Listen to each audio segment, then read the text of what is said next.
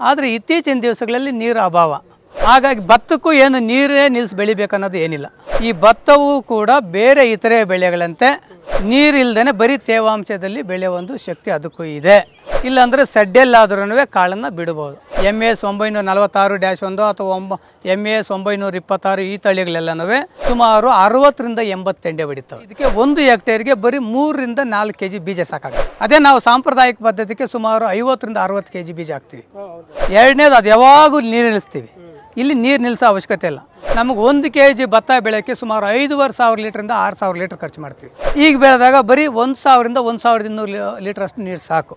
ಅದಕ್ಕಿಂತ ಎರಡರಷ್ಟು ಏರಿಯಾಗೆ ಭತ್ತನ ಬೆಳಿಬೋದು. ಡ್ರಿಪ್ನಲ್ಲಿ ಅಂದರೆ ಹನಿ ನೀರಾವರಿನಲ್ಲಿ ಮಾಡಿದ್ದೇವೆ. ಇದು ಕೃಷಿ ಅಂತ ಹೇಳೋದು ಅನುಭವ ಫಸ್ಟು ಪುಸ್ತಕ ಹೇಳ್ದಂಗೆ ಮಾಡ್ತಕ್ಕಂಥಲ್ಲ ಎಲ್ಲರೂ ಕಾಯ್ತಾ ಇರ್ತೀವಿ, ಬಿತ್ತನೆ ಸಮಯದಲ್ಲಿ ಅಂಗಡಿಗೆ ಹೋಗ್ತೀವಿ ಡೈರೆಕ್ಟಾಗಿ ಸೆನ್ಸಾರ್ ಕನೆಕ್ಟ್ ಕೊಟ್ಟಿದ್ವಿ. ಇದನ್ನು ಸೊ ಇಲ್ಲಿವರೆಗೂ ನಾವು ಸಾಂಪ್ರದಾಯಿಕವಾಗಿ ಭತ್ತವನ್ನು ಕೆಸರು ಮಡಿ ಮಾಡಿ ಪಡ್ಲ್ ಕಂಡೀಷನಲ್ಲಿ ಬೆಳೀತಾ ಇದ್ವಿ. ಅಂದ್ರೇನು ಇಪ್ಪತ್ತೊಂದರಿಂದ ಮೂವತ್ತೊಂದು ದಿವ, ಮೂವತ್ತು ದಿವಸವರೆಗೂ ನರ್ಸರಿ ಮಾಡ್ತಾಯಿದ್ವಿ ನರ್ಸರಿಯಿಂದ ಇಪ್ಪತ್ತೊಂದು ದಿವಸ, ಮೂರು ವಾರ ಅಥವಾ ನಾಲ್ಕು ವಾರ ಆದಮೇಲೆ ಕಿತ್ಬಿಟ್ಟು ನಾಟಿ ಮಾಡೋರು. ಅಂದ್ರೆ ಕೆಸರು ಗದ್ದೆ ಮಾಡಿ ಕೆಸರು ಗದ್ದೆಯಲ್ಲಿ ನಾಟಿ ಮಾಡಿ ಯಾವಾಗಲೂ ನೀರು ನಿಲ್ಲಿಸಿರ್ತಾಯಿದ್ರು ಕರೆಕ್ಟ್ ಅಲ್ವಾ? ಸೊ ಇದು ಮಾಡೋದಕ್ಕಾಗಿ ಈ, ಆ ರೀತಿ ರೂಪದಲ್ಲಿ ಭತ್ತ ಬೆಳೆಯತಕ್ಕಂಥದ್ದು ರೂಢಿ ಪದ್ಧತಿ ಅದು.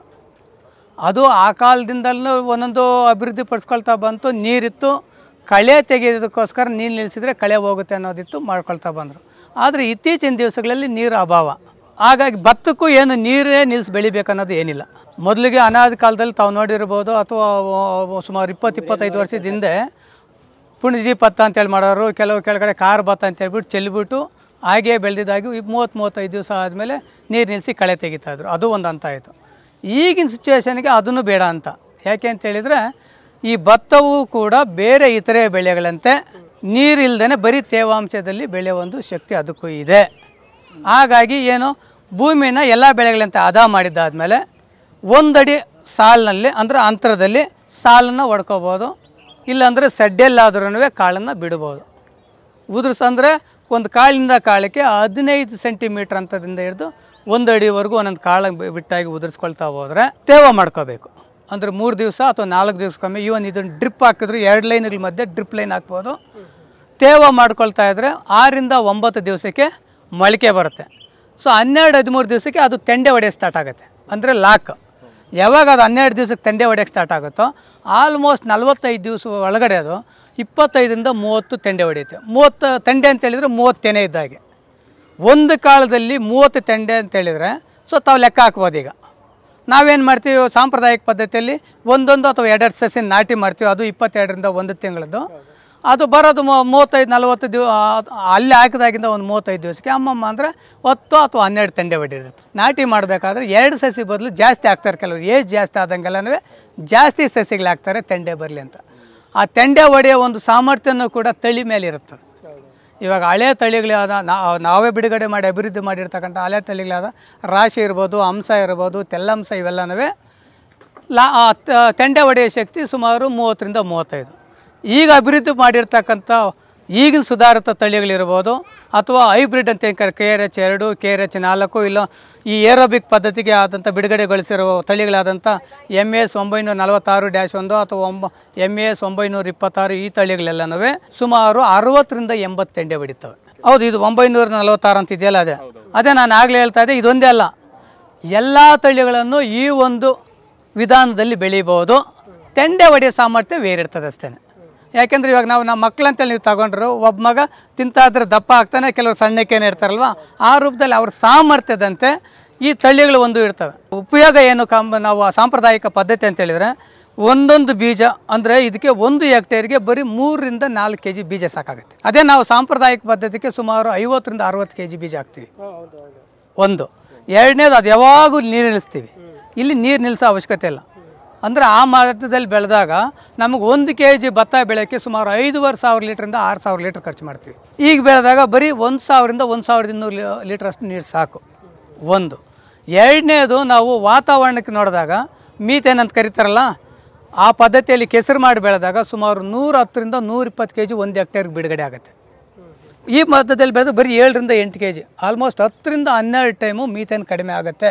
ಅದು ಅದರದ್ದು ಒಂದೇ ಒಂದು ಭಾಳ ಮುಖ್ಯವಾದ ಉಪಯೋಗ ಏನಂತ ಹೇಳಿದರೆ, ನಾವು ಚರ್ನಿಂಗ್ ಮಾಡಿ ಅಥವಾ ಕೆಸರು ಗದ್ದೆ ಮಾಡಿದರೆ ಜಿಂಕ್ ಅನ್ನೋ ಒಂದು ಪೋಷಕಾಂಶ ಅದಕ್ಕೆ ಸಿಗುತ್ತೆ. ಎರಡು, ಅಂದರೆ ರೆಡ್ಯೂಸ್ ಅಂತ ಅಲ್ಲಿ ಕ್ರಿಯೇಟ್ ಆಗುತ್ತೆ. ಆಕ್ಸಿಡೇಷನ್ ರಿಡಕ್ಷನ್ ಅಂತೇಳಿ ಪ್ರೊಸೆಸ್ ಹೇಳ್ತೀವಿ, ಅದಾಗುತ್ತೆ ವಿಜ್ಞಾನ. ಹಂಗಾಗಿ ಅದನ್ನು ಸಿಗುತ್ತೆ. ನೀರು ನಿಲ್ಲಿಸೋದ್ರಿಂದ ಕಳೆ ನಿಯಂತ್ರಣ ಆಗುತ್ತೆ. ಸೊ ಇದರಲ್ಲಿ ಹಿಂಗಾಗಿದಾಗ ಕಳೆ ಬರುತ್ತೆ. ಕಳೆ ನಿಯಂತ್ರಣ ಮಾಡೋದಕ್ಕೋಸ್ಕರ ಸಾಲಿನಲ್ಲಿ ಹಾಕೊಂಬಿಟ್ರೆ ನಾವು ಕೋನ ಬಿಡೋರು ಅಥವಾ ಕ, ಕಳೆಯನ್ನು ತಳ್ಕೊಂಡೋಗಿ ಕಳೆ ಕಳೆ ಕೀಳೋ ಯಂತ್ರಗಳಿವೆ, ಅವುಗಳನ್ನ ಮಾಡ್ಕೋಬೋದು. ಇಲ್ಲವೇ ಕೈ ಕಳೆ ತಗೊಳ್ಳೋದು. ಇಲ್ಲವೇ ಇನ್ನು ಈಗ ನಮಗೆ ಪ್ರಿಯಮ ಅಂದರೆ ಉದಯಪೂರ್ವಕ ಕಳೆನಾಶಕಗಳು ಉದಯತ ಕಳೆನಾಶಕಗಳಂತಿದೆ. ಅದನ್ನು ಬೇಕಾದರೂ ನಾವು ಶಿಫಾರಸ್ಸು ಅಷ್ಟು ಪ್ರಮಾಣದಲ್ಲಿ ಸ್ಪ್ರೇ ಮಾಡಿದ್ದಾದಲ್ಲಿ ಕಳೆಗಳು ಹೋಗ್ತವೆ. ಮಣ್ಣಿಗೂ ಯಾವುದೇ ಹಾನಿ ಆಗಲ್ಲ.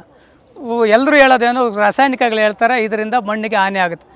ಎಷ್ಟು ಪ್ರಮಾಣ ಹಾಕಬೇಕು, ಅಷ್ಟು ಪ್ರಮಾಣ ಹಾಕಿದರೆ ಆ ಕೆಮಿಕಲ್ ಮಣ್ಣಲ್ಲಿ ಯಾವುದೇ ಕಾರಣಕ್ಕೂ ಒಂದು ಹನ್ನೆರಡರಿಂದ ಹದಿನೈದು ದಿವಸ ಇರ್ತದೆ. ಯೂಶಲಿ ಏನು ಮಾಡ್ತಾರೆ ಅಂಗಡಿಗೆ ಹೋದಾಗ ಅವರು ಶಿಫಾರಸಿಗಿಂತ ಡಬಲ್ ಪ್ರಮಾಣ ಹೇಳ್ತಾರೆ. ಯಾವಾಗ ಜಾಸ್ತಿ ಆಗುತ್ತೋ, ಮಣ್ಣಿನಲ್ಲಿ ಜಾಸ್ತಿ ಉಳ್ಕೊಳ್ಳುತ್ತೆ. ಸೊ ಹಂಗಾಗಿ ಅದಾನೆ. ವೈಜ್ಞಾನಿಕ ಪದ್ಧತಿಯಲ್ಲಿ ರಾಸಾಯನಿಕಗಳನ್ನು ಕೂಡ ಬಳಕೆ ಮಾಡಿ ಯಾವಾಗ ಎಷ್ಟು ಬೇಕೋ ಎಂಥ ರಾಸಾಯನಿಕ ಬೇಕೋ ಅದನ್ನು ಬಳಕೆ ಮಾಡಿದಾಗ ಅದು ಕೂಡ ಹಾನಿಯಲ್ಲ. ಸೊ ಹಾಗಾಗಿ ಏರೋಬಿಕ್ ರೂಪದಲ್ಲಿ ಭತ್ತವನ್ನು ಬೆಳಿಬೋದು, ಇಲ್ಲ ಹನಿ ನೀರಾವರಿಯಲ್ಲೂ ಕೂಡ ಭತ್ತವನ್ನು ಬೆಳೆದಿದ್ದೇ ಆದರೆ ನೀರಿನಲ್ಲಿ ಶೇಕಡ ಐವತ್ತರಿಂದ ಅರುವತ್ತು ಭಾಗ ಉಳಿಸ್ಬೋದು ಅಂದರೆ ಸಾಂಪ್ರದಾಯಿಕ ಭತ್ತದಲ್ಲಿ ಏನು ಬೆಳಿತೀವಿ? ಅದಕ್ಕಿಂತ ಎರಡರಷ್ಟು ಏರಿಯಾಗೆ ಭತ್ತನ ಬೆಳಿಬೋದು. ಇಳುವರಿನಲ್ಲಿ ಯಾವುದೇ ಥರವಾದ ಕುಂಠಿತ ಆಗಲ್ಲ, ಇನ್ನೂ ಹೆಚ್ಚಿನ ಇಳುವರಿನೇ ಪಡಿಬೋದು. ಯಾಕೆಂದ್ರೆ ನಾನು ಆಗಲೇ ಹೇಳಿದೆ ರೋಗ ರುಜಿನಗಳು ಅದಕ್ಕೇನು ಬರ್ತೋ ಅದೇ ರೂಪದಲ್ಲಿ ಇರ್ತವೆ. ಇದ್ರದ್ದು ಏನು ಒಂದು ನಾವು ಮಂದಾಟ ಮಾಡ್ಕೊಬಂದ್ರೆ ಭತ್ತ ಬೆಳೆದಾದ್ಮೇಲೆ ಮತ್ತೆ ಭತ್ತವನ್ನು ಹಾಕಬಾರ್ದು. ಯಾಕೆಂದ್ರೆ ಆಗಲೇ ಹೇಳಿದೆ, ನಾವು ಈ ಅದ ಮಾಡಿ ಭತ್ತ ಹಾಕಿದಾದ್ಮೇಲೆ ಮುಂದಿನ ಬೆಳೆ ಮತ್ತೆ ಭತ್ತ ಹಾಕಿದರೆ ಜಿಂಕು, ಮ್ಯಾಂಗನೀಸ್, ಐರನ್ ಮೂರು ಈ ಪೋಷಕಾಂಶಗಳು ಒಂದು ಕೊರತೆ ಬರುತ್ತೆ. ಅದನ್ನು ನೀಗಿಸ್ಕೊಳ್ಳಾಗಿದ್ರೆ ಭತ್ತ ಹಾಕ್ಬೋದು. ಇಲ್ಲ ಅಂದರೆ ಬೆಳೆ ಮಾರ್ಪಾಡು ಮಾಡಿ ಈಗ ಭತ್ತ ಹಾಕಿದ್ದೀವಿ. ತದನಂತರ ಬೇರೆ ಯಾವುದೇ ಬೆಳೆ ಹಾಕಿ ಮತ್ತೆ ಮೂರನೇ ಬೆಳೆ ಅಥವಾ ನಾಲ್ಕನೇ ಬೆಳೆ ಮತ್ತೆ ಭತ್ತ ಹಾಕಿದರೂ ಕೂಡ ಯಾವುದೇ ಥರವಾದ ತೊಂದರೆ ಇಲ್ಲ. ನಾವು ಇಲ್ಲಿ ನೋಡಿ ಡ್ರಿಪ್ ಹಾಕಿದ್ದೇವೆ.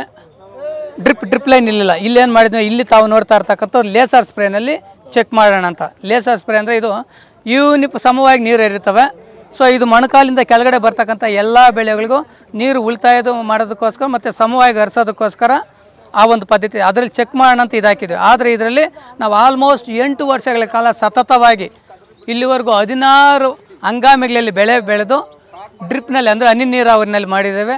ಸೊ ಹನಿ ನೀರಾವರಿನಲ್ಲಿ ಡ್ರಿಪ್ ಮೂಲಕ ಭತ್ತವನ್ನು ಬೆಳಿಬೋದು. ಮೂರರಿಂದ ನಾಲ್ಕು ದಿವಸಕ್ಕೊಮ್ಮೆ ಎರಡು ಎರಡೂವರೆ ಗಂಟೆ ಕಾಲ ಡ್ರಿಪ್ಪಲ್ಲಿ ನೀರು ಕೊಟ್ಟರೆ ಸಾಕು.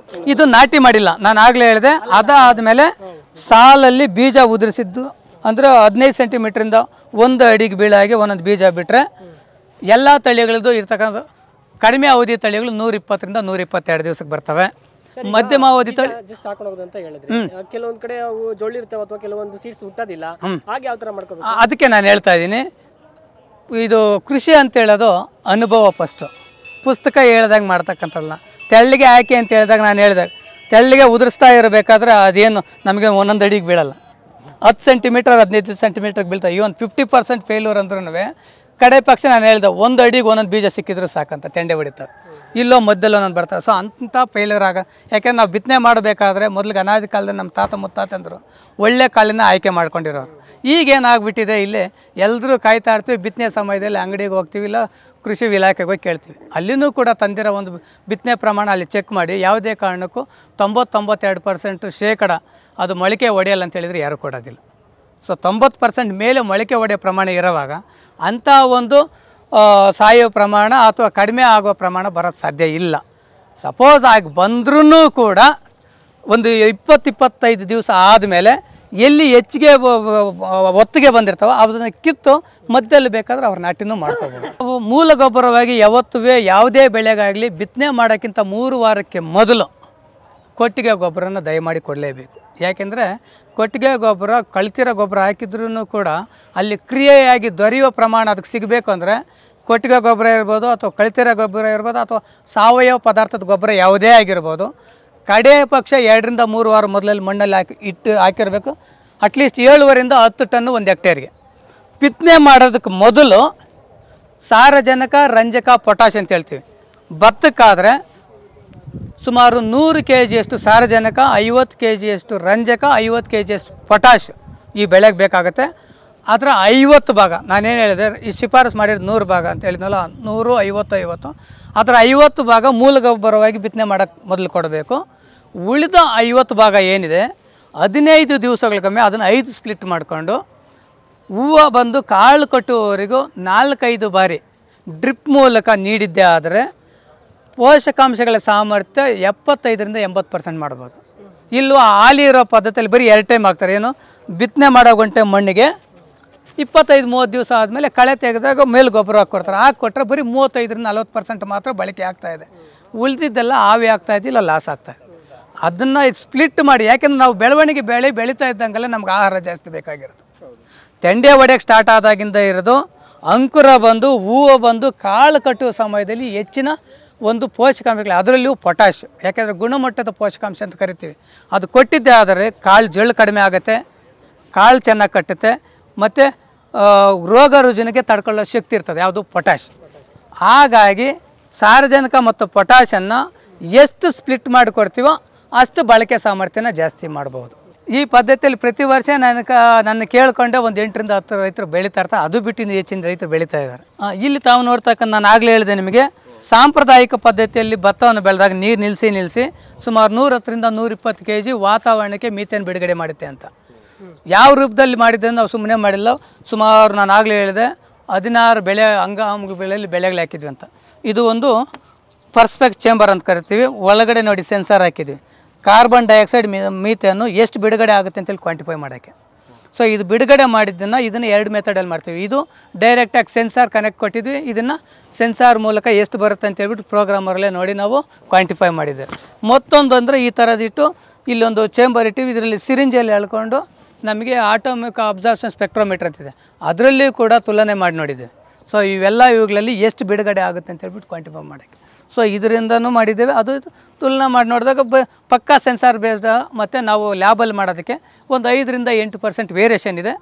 ಬಟ್ ಬೇಗನೆ, ಅತಿ ಬೇಗನೆ, ಶೀಘ್ರವಾಗಿ ಎಷ್ಟು ಬಿಡುಗಡೆ ಮಾಡಿದೆ ಅಂತೇಳಿ ಚೆಕ್ ಮಾಡೋದಕ್ಕಾಗುತ್ತೆ ಅದು ಒಂದು ಟೈಮ್ ಮಾಡಿ ಅಥವಾ ಎರಡು ಟೈಮ್ ಮಾಡಿ ನಾವು ತಿಳಿ- ಈ ಒಂದು ಫಲಿತಾಂಶಕ್ಕೆ ಬಂದಿಲ್ಲ.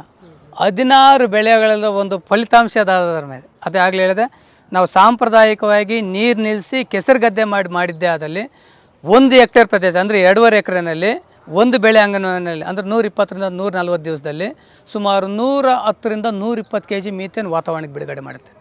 ಅಂದರೆ ನಮಗೆ ಬದಲಾವಣೆಗೆ ಈ ಕಾರ್ಬನ್ ಡೈಆಕ್ಸೈಡು ಮೀಥೇನು ಇವೆಲ್ಲನೂ ಗ್ರೀನ್ ಹೌಸ್ ಗ್ಯಾಸಸ್ ಜಾಸ್ತಿ ಬಿಡುಗಡೆ ಮಾಡುತ್ತೆ ಅಂತ ಹೇಳ್ತೀವಲ್ವ? ಸೊ ಅದರಿಂದ ಜಾಸ್ತಿ ಬಿಡುಗಡೆ ಆಗುತ್ತೆ. ಅದೇ ಈ ಪದ್ಧತಿಯಲ್ಲಿ ಬೆಳಗ, ಮಾಡಿದ್ದೆ ಆದರೆ ಬರೀ ಏಳರಿಂದ ಎಂಟು ಕೆ ಜಿ ಅಂದರೆ ಹತ್ತರಿಂದ ಹನ್ನೆರಡು ಟೈಮ್ ನಾವು ಆ ಮೀತೆಯನ್ನು ವಾತಾವರಣಕ್ಕೆ ರಿಲೀಸ್ ಮಾಡೋದು ಕಡಿಮೆ ಮಾಡ್ಬೋದು. ಆರೋಗ್ಯ ವಾತಾವರಣ ಆರೋಗ್ಯ ವಾತಾವರಣ ಅಂದರೆ ಏನು ಕ್ಲೈಮೇಟ್ ಚೇಂಜ್ ಅಂತೀವಿ? ಸೊ ಅದನ್ನು ಗುಣಮಟ್ಟದ ವಾತಾವರಣ ಇಡೋದಕ್ಕೂ ಕೂಡ ಒಂದು ಸಹಕಾರಿ ಈ ಒಂದು ಮಾ ಪದ್ಧತಿಯಲ್ಲಿ ಬೆಳೆಯೋದ್ರಿಂದ.